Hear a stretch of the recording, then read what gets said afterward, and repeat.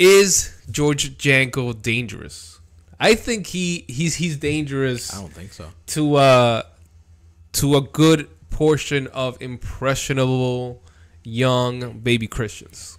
I I don't think he's dangerous because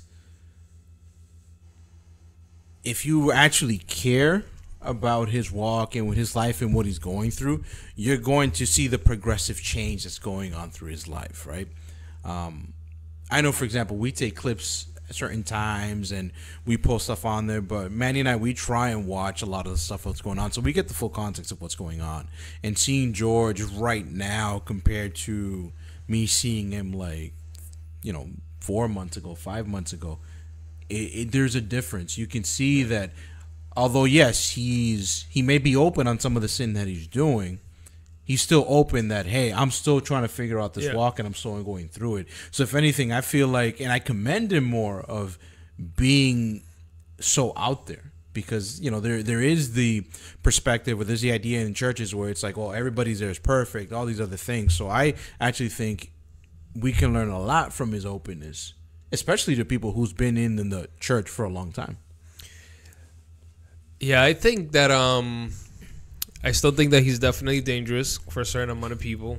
Um, I think that especially when you're when you are in a position of leadership, I think that you need to be a lot more mindful For sure. of how you carry yourself. for sure Um, and if you don't know how to behave, then maybe you like, for example, if certain things in your life you're you are uh, you know that you shouldn't be doing. Yes. it's not that you're gonna put up a front, right? I'm not saying that at all, but at the same time, like as leaders, you have to.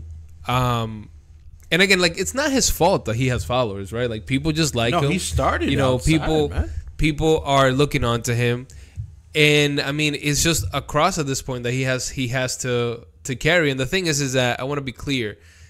I enjoy and I love the fact that he is open, but I want to have a conversation about this about Yeah. how open should you be, right? As a Christian, right?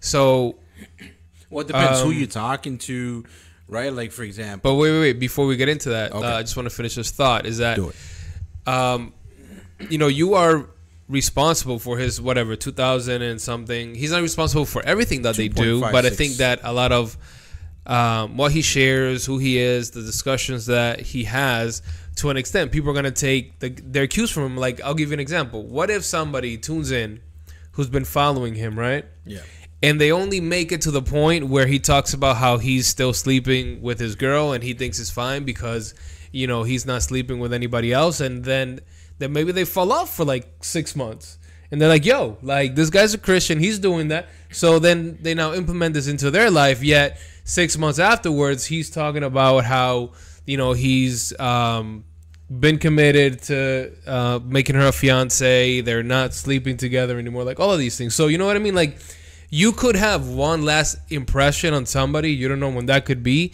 Yes. and the example that you give and what you share could be dangerous to that person's life. That's what I'm though, saying. man. I struggle with that because at the same point, right? Like, I'm not gonna say everybody knows about the Bible, but Yeah. a good majority of people, let's say here, you know, in the United States, knows that having sex outside of marriage is a problem.